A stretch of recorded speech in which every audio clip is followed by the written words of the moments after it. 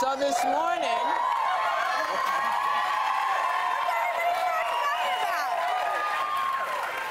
I think they love the sweater, Whoopi. well, they might love the sweater, but I think they're just glad to see us. Yeah. Is it your Which is always Christmas good. It is. This is one of mine. And she yes. has Would you like some inside. candy? You can. By just all oh, for means. one second, please. Come By on in. all means, Reach I deep. want a Go deep. Thank Go you deep. so much. I'm bringing candy to everybody. Yes. Yes. Yes. Yes. Yes. great. That's obviously Come what on, I baby. want Ho, today. ho, ho. Come on, girl. Can I take Come a on. candy cane? Yes, you can take whatever We you all want. need this morning.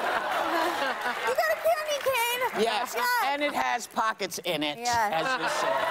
And wait, you can find it at Zappos. That's And right. I give them to my entire family, and they're the best Christmas sweaters ever. They're comfortable Just and they're good. Yes. So that. Whoopi at Zappos. Much more interesting than talking about America's funeral, which apparently Sunny No, this like is not a funeral. This is not a funeral.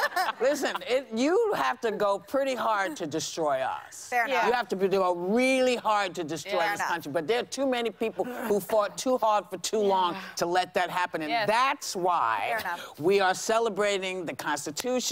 We Yeah. are celebrating our rights as Americans to say something's wrong.